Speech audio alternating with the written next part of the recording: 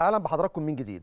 ملف تاني مهم جدا وهو متعلق بكيف يفكر الأهلي في الفترة القادمة والاستعداد لاستئناف التدريبات في ظل توقف كبير جدا حوالي 45 يوم. لأن اللافت للنظر إن ال- الأستاذ عامر حسين المشرف على إدارة المسابقات قال إن كأس الرابطة هتفضل مستمرة حتى نهايتها في الأسبوع الأول من شهر فبراير حتى لو منتخبنا لا قدر الله خرج مبكرا من كأس الأمم الإفريقية وبالتالي الدوري مش هيتلعب إلا بعد كأس الأمم الإفريقية.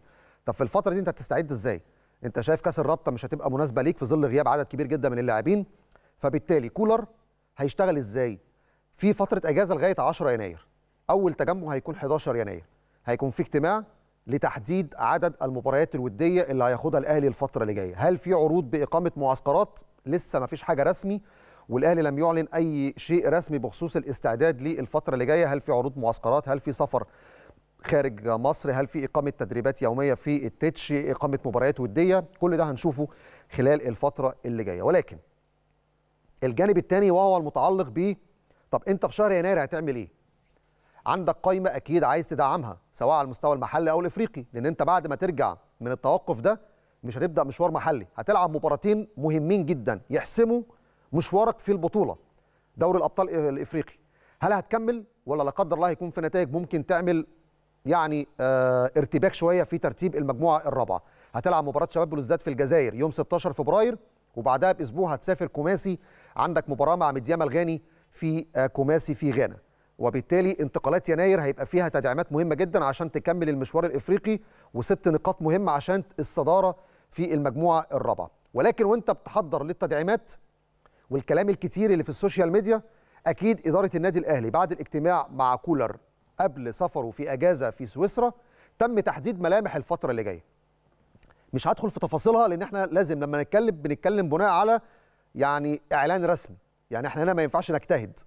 ألف ب رغم إن إحنا عندنا معلومات ممكن لو قلناها يعني تبقى ترند دلوقتي على ال social media والناس كلها تاخدها مننا وتبقى معلومات رسمية. ولكن ما ينفعش نجتهد في تفاصيل زي دي. وما ينفعش نعلن تفاصيل زي دي طالما الأهلي لم يعلنها بشكل رسمي. الجمهور ممكن يزعل لأن الجمهور عايز يطمن عايز يعرف بيتجه لأماكن أخرى وبرامج أخرى ويسمع منها معلومات. بس مع الوقت بيتأكد إن 90% من اللي بيتقال بره مش هو الصح. لكن إحنا هنا إيه اللي نقدر نقوله؟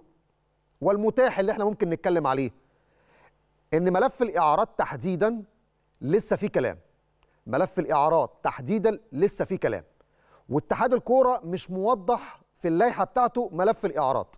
ولكن نقدر نقول إن الملف ده تحديدا الأهلي هيشتغل عليه بشكل قانوني جدا في الفترة اللي جاية. عشان لما يتعاقد مع لاعب وفريق هذا اللاعب عايز صفقات من الأهلي سواء على سبيل الإعارة أو البيع النهائي يقدر الأهلي طبقا للوائح الفيفا يتعامل فيها بشكل سليم جدا. فبالتالي ملف الإعارات لسه مفتوح ولسه فيه كلام. وأي صفقة الأهلي هيجيبها مقابل هذه الصفقة فيها إعارات أكيد الأهلي هيشتغل فيها طبقا لتعليمات الفيفا. لأن اللي تم شرحه من الاتحاد المصري في الفترة السابقة في ملف الإعارات ما كانش صح بنسبة 100% ده جانب. الجانب الثاني الأهلي بيشتغل على كذا محور وكذا جانب وبيستغل لائحة شؤون اللاعبين طبقا لملف اللاعبين الأجانب عشان يقدر يدعم بيها. فلما يجي يجيب لاعب أجنبي ليس من ذوي الجنسية المصرية ولكن ممكن يكون إضافة للأهلي في جنسية أخرى لا يتم اعتمادها كلاعب أجنبي الأهلي هيشتغل عليها. متاحة؟ الأهلي هيشتغل عليها. أي حاجة متاحة طبقا للوائح الأهلي هيشتغل عليها. مفيش سطر في اللائحة الأهلي ممكن هيستفيد منه وهيعديه. فالناس بتشتغل الناس بتجتمع في مفاوضات جادة وفي تدعيمات ويمكن خلال ساعات ممكن خلال أيام قبل سفر منتخبنا. لكن أنا بأكد لكم انتقالات يناير مش هتعدي إلا لما يكون في تدعيم قوي جدا للنادي الأهلي عشان استكمال الموسم وتحقيق نفس النجاحات وأمال وطموحات الجماهير زي ما الأهلي حقق ده في عام 2023 الكتالوج أنتوا شفتوه في الأهلي بيشتغل إزاي؟ فما حدش يقلق ما حدش يقلق. وما تصدقوش الكلام اللي بيتقال في السوشيال ميديا وفي البرامج عن أسماء ممكن تكون مطروحة في فترة من الفترات ويجي يقول لك أصل الأهلي ما قدرش يجيبها. لا هو الأهلي لا فكر فيها ولا تفاوض معاها ولا وقع معاها. ولكن الناس بس عايزة إيه؟ تعمل نسبة مشاهدات.